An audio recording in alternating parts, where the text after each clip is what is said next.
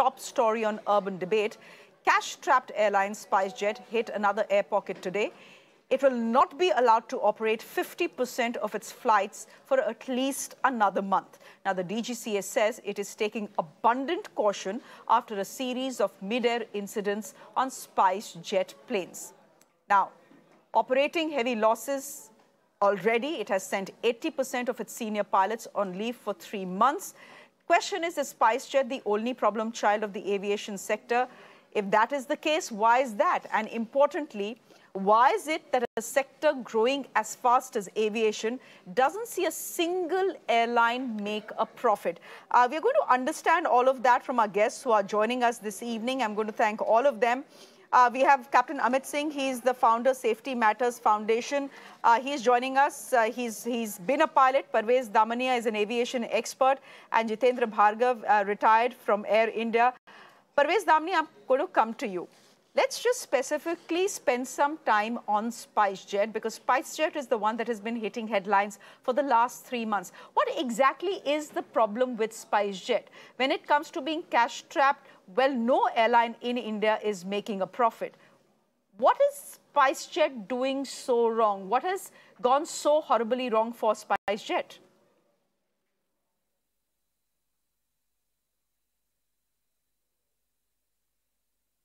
Mr. Damne, can you hear me? Okay. I think, all right. I think what we'll do is, Mr. Damnia is just about joining us on the broadcast. I don't think we've had an opportunity to fix his frame. Uh, so that ex that's exactly what we'll do. Mr. Da we'll let Mr. Damnia fix his frame and then possibly uh, go to him. Uh, but Jitendra Bhargav, would you want to come in here? You know, we want to talk about uh, the larger issue of why airlines in India don't make a profit, despite the fact that aviation is the fastest growing uh, sector in this country and in fact across the world. But as specific to SpiceJet, why has the story gone so horribly wrong for them? cannot take the SpiceJet issue without looking at the total aviation industry in India. Huh. What we have witnessed right from the time the privatizers, private airlines were allowed to start operating in 1993 Three out of every four airlines that have come up have collapsed. Now, earlier we could say, okay, there were people who did not have requisite experience, they were new to the industry, they did not have a business model, and therefore they folded. But what we witnessed in the last 10 years after Kingfisher were basically the legacy carriers were collapsing because the low cost airlines were taking away their market through lower fares. But now what we are witnessing is yet another phase competition amongst the low-cost airlines, which today command 83% of the total domestic market operations.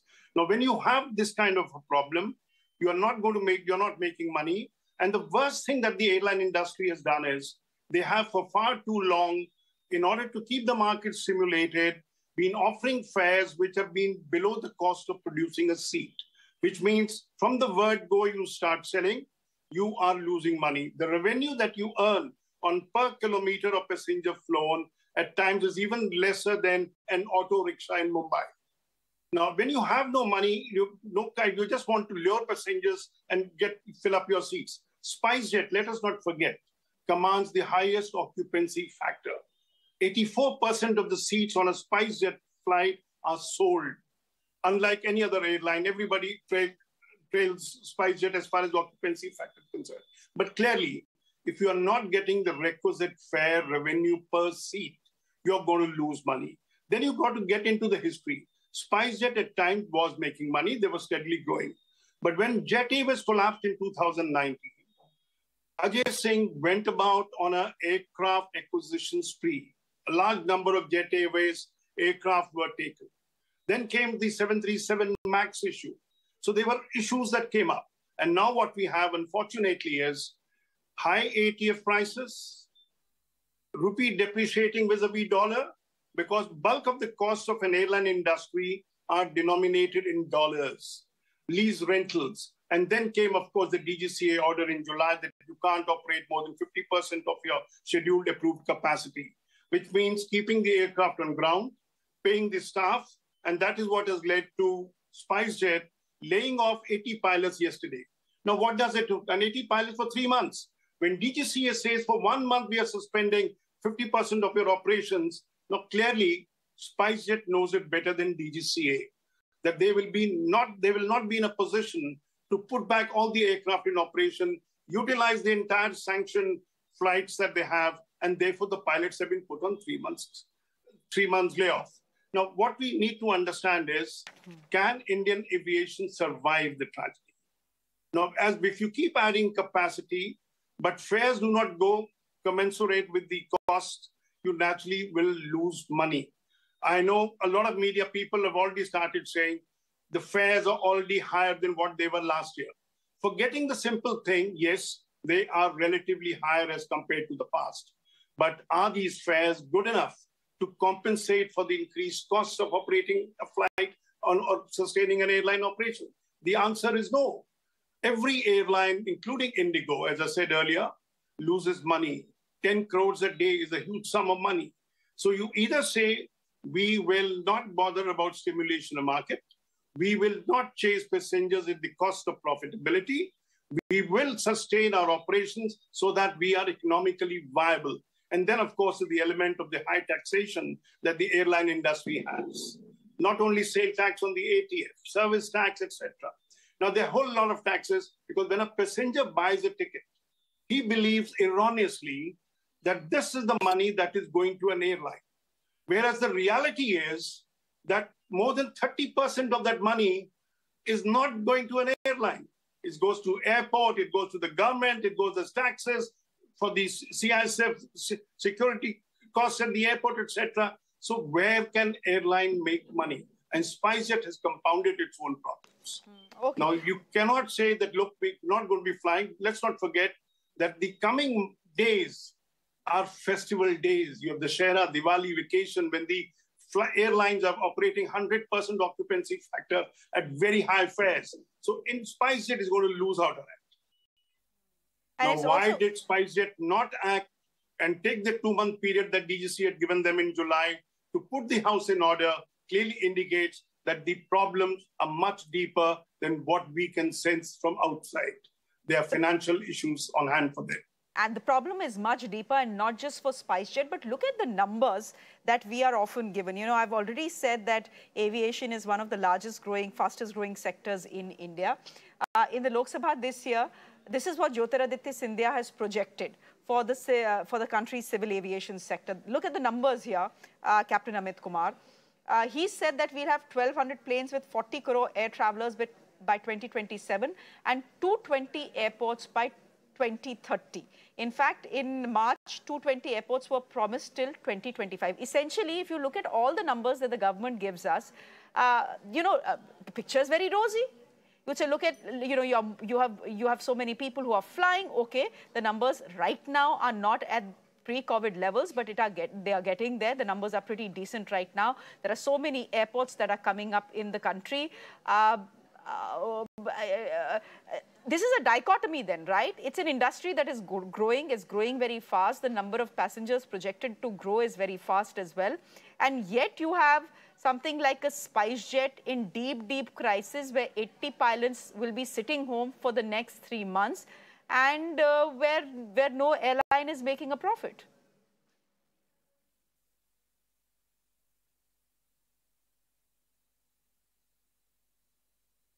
Yeah, uh, Captain Singh, can you hear me?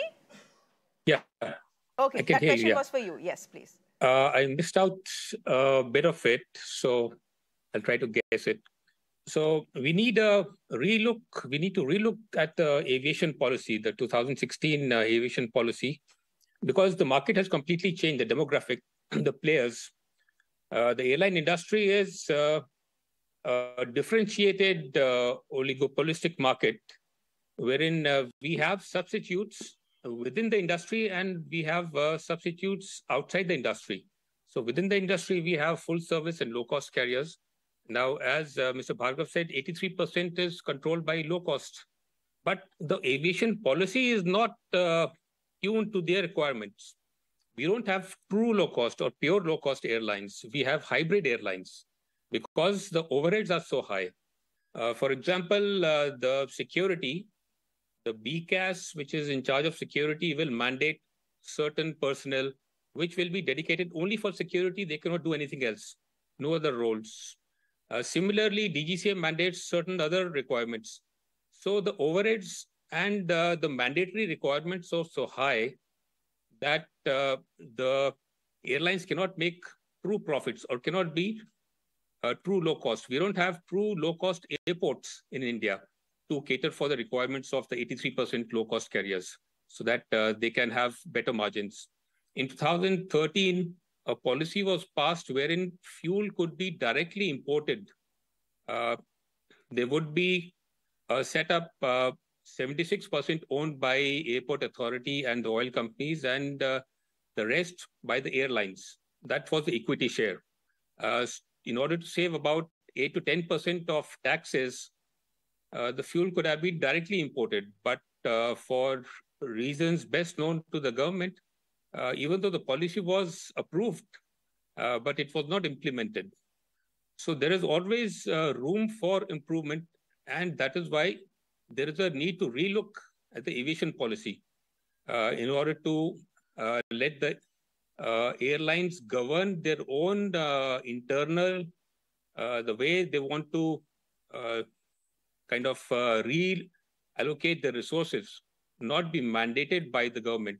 So there is too much of interference or control by the government, even after the deregulation or the open sky policies. Uh, open skies policies are basically to help the passengers uh, open and free competition, increase competition, and help uh, the airlines, or rather promote uh, the airlines. If you look at the traffic, the tourists traffic is almost about 58% uh, as per IATA, a contribution to aviation, because maximum people travel by air. In India, the tourist industry is suffering because the numbers are declining rapidly. Uh, pre-COVID levels, 2018-19, the growth was only 4 to 5%, whereas other smaller countries, the growth is phenomenal.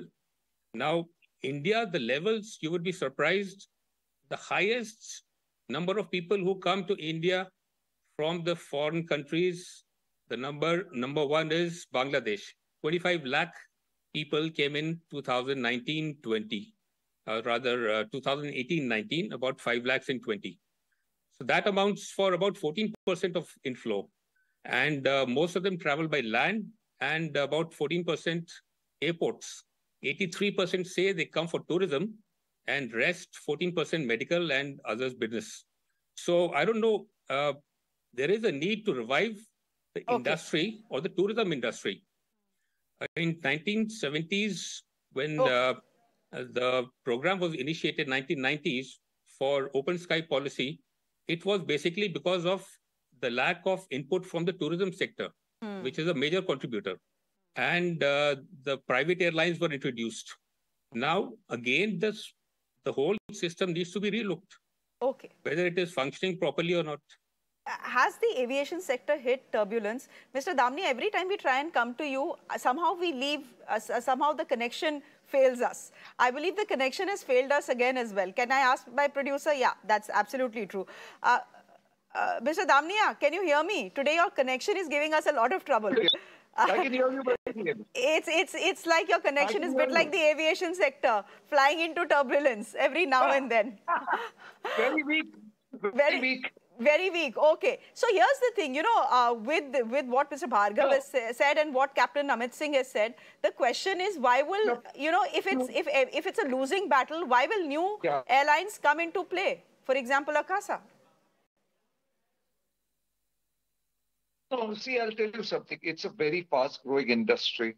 There's a huge potential. India is a huge market, and uh, I think it's one of the fastest growing markets in the world growing. Uh, till COVID, it was doing very, very well. Now, what has happened? The COVID has hit the aviation industry very badly. Not only just the airline. Okay, I think we've lost the connection. I think we've lost the connection. Uh, maybe we should just stop trying. Uh, Mr. Bhargav, would you step in here? The fact is that if everyone is making a loss and, and if aviation is a losing battle, then why would new players like Akasa come in? one believes the other airline has been making mistakes. They're not understanding the psyche of the Indian market. Take Tony Fernandes, for example, a highly successful operator of AirAsia, came to India. Could he make money in Indian market? Indian market is peculiar. Cost sensitivity is very high. Costs are very high. Now, with the result, you do not make money. As I said, Kingfisher, Jet were both quality airlines. But could they ever make profit? The answer is no. Now, when you got into compet intense competition among the low-cost airline, the same thing goes. Now, Akasa Airline, you just made a mention of, in the first 21 days of their operations, after they started operating, 53% has been the occupancy factor. Mm. They placed their fares 6 to 8% lower than the prevailing fares of that time. But what happened soon thereafter? Indigo dropped their fares and matched Akasa Airline. Now, 53% occupancy factor for a new airline, brand new aircraft, advertising as a quality airline, yet they could not lure passengers. Indian market is price sensitive, fare sensitive. They will only go where the fares are very low and you have the advantage of multiple flight operations on a daily basis. You can't have just two flights in a day. One flight get canceled, you get stranded, all those kind of things matter. So it is basically if you look up the phase from 93 onwards, people came in to operate or started airlines who had no understanding of the airline industry. They came up because it was a glamorous industry. The glamour was attached to it. They folded within no time. Then, of course, the government was also reckless in granting licenses at that time and said, okay, anybody coming, and companies, they came up overnight and they were given licenses. But for the collapse of sustainable airline, the airline which has sustained operation 25 years like Jet Airways, something seriously is wrong with our industry. Now you will have any number of applicants and said, okay, I want to come into the market.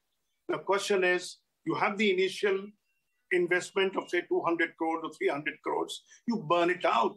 Of course, Akasa would not have foreseen that when they commence operation, rupee would have depreciated significantly. ATF prices would have risen the market would not be growing post the COVID. You see, let's not forget that the pre COVID level is still eluding us. Hmm. We are still 15, 17% lower than what we had of number of passengers flying per day on the pre COVID period. Now, the population has also gone up. The people are traveling. The lockdown conditions have been withdrawn. Everything is normal. Now, Mr. Captain Ajit Singh was making a mention, Amit Singh was making a mention of, you know, tourism tourism is growing in, in, by leaps and bounds at the current position. It's difficult to get a place of seat on tourism desti- destination flights. Now, tourism is growing because the hotel industry is attracting passengers. There are various kind of advertising campaign, but we are nowhere close to what it should have been. Okay. International travel, yes, the Russia-Ukraine war has impacted. Mm. The number of flights being operated from west to India and back have been have been reduced because several airlines don't want to take a detour and fly. So with the result, the fares are exceptionally high. But okay. Indian market fares are not high. Airlines are not recovering money. I've often you know, stated uh, airlines are accused of fleecing passengers, but if they were fleecing, they would have been making money. And the reality is, none of the airlines are currently are making, making, money, money that, because the, the costs are truth. simply too high it's the bitter truth and it's also the irony, I would say. Uh, you know, when you talk about India being a large market, when you talk about the increase you're seeing in the number of passengers, the number of airports, etc., and then you see the fact that airlines are not making money.